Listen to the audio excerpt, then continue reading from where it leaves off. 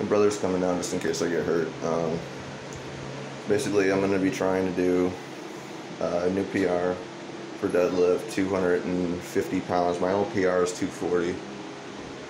I just got done doing five reps of 225 like less than two minutes ago, which I normally don't do that for working suds, but I want to get stronger.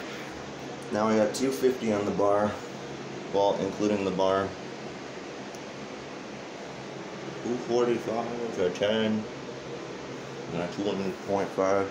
One with cheese and a large soda.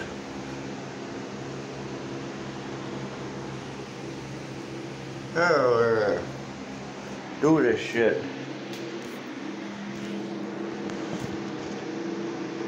I haven't really been doing deadlifts too much lately, but I'm gonna say recording just in case I pull something. The right up there, by the way. That's recording. I just got done doing um, what was it, 225 for five reps. I'm gonna stretch my hamstrings and quads real quick just in case. So. I'd be shocked if I actually do it. I mean, what was that, like 157 when I did uh, 240, some, something like that. Now I'm like 165 since I went a little off diet. Alright, see if I can do it. Hope for no injuries. Yeah. Big relax. Hip hinge.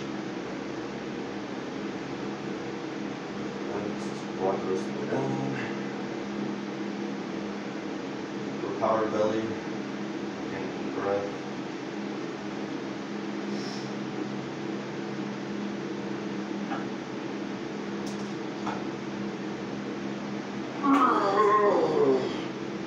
I just farted.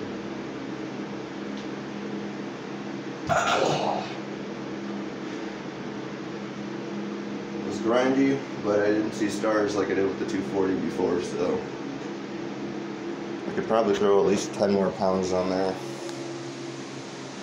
Yeah.